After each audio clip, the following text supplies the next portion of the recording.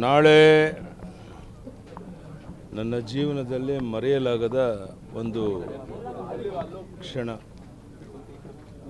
ಸ್ವತಃ ಪ್ರಧಾನಿ ನರೇಂದ್ರ ಮೋದಿಜಿಯವರೇನೆ ನನ್ನ ಹುಟ್ಟುಹಬ್ಬದ ದಿವಸನೇ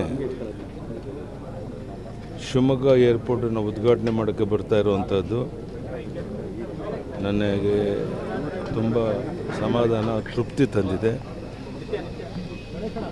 ನಾಳೆ ಲಕ್ಷಾಂತರ ಜನ ನಮ್ಮ ಕಾರ್ಯಕರ್ತರು ಬಂದು ಆ ವಿಶೇಷ ಕಾರ್ಯಕ್ರಮದಲ್ಲಿ ಭಾಗವಹಿಸಬೇಕು ಅಂತ ವಿನಂತಿ ಮಾಡ್ತೇನೆ ಮತ್ತು ನಾವ್ಯಾರೂ ನಿರೀಕ್ಷೆ ಮಾಡಿರಲಿಲ್ಲ.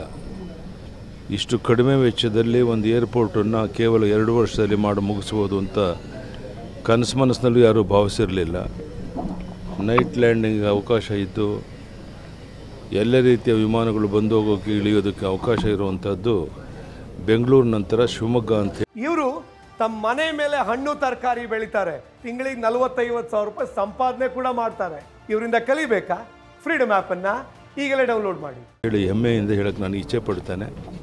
ಹಾಗಾಗಿನೇ ಪ್ರಧಾನಿ ನರೇಂದ್ರ ಮೋದಿಜಿಯವರೇ ಬಂದು ಇದರ ಉದ್ಘಾಟನೆ ಮಾಡ್ತಾ ಇದ್ದಾರೆ.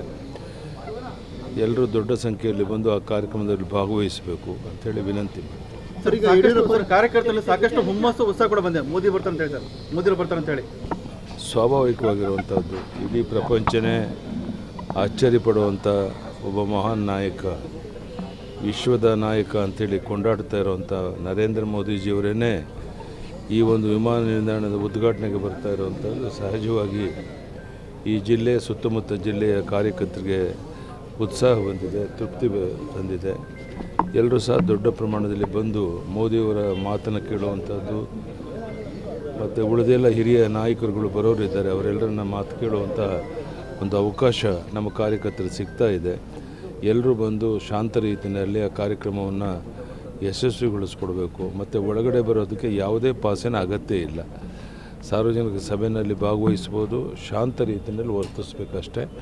ಆ ಕೆಲಸವನ್ನು ಬರುವಂಥ ಎಲ್ಲ ಕಾರ್ಯಕರ್ತರು ಮಾಡಬೇಕು ಅಂಥೇಳಿ ನಾನು ವಿನಂತಿಯನ್ನು ಮಾಡ್ತೇನೆ ಸರ್ ಈಗ ಯಡಿಯೂರಪ್ಪರ ಜನ್ಮದಿನದಿಂದನೇ ವಿಮಾನ ನಿಲ್ದಾಣ ಉದ್ಘಾಟನೆ ಆಗ್ತಿದೆ. ಇದು ಯಡಿಯೂರಪ್ಪರಿಗೆ ಬರ್ಡೇ ಗಿಫ್ಟ್ ಅಂತ ಹೇಳ್ಬೋದು ಸರ್ ಅಲ್ಲ ಅದು ನೀವೇನಾದರೂ ಕರೀರಿ. ಸ್ವತಃ ನರೇಂದ್ರ ಮೋದಿಜಿಯವರೇ ನಿಮ್ಮ ಹುಟ್ಟುಹಬ್ಬದ ದಿವಸನೇ ನಾನು ಬರ್ತೇನೆ. ಅವತ್ತೇ ಈ ಒಂದು ವಿಮಾನ ನಿಲ್ದಾಣದ ಉದ್ಘಾಟನೆಯನ್ನು ಮಾಡುತ್ತೇನೆ ಅಂತ ಅವರೇ ಸ್ವತಃ ಹೇಳಿದರು.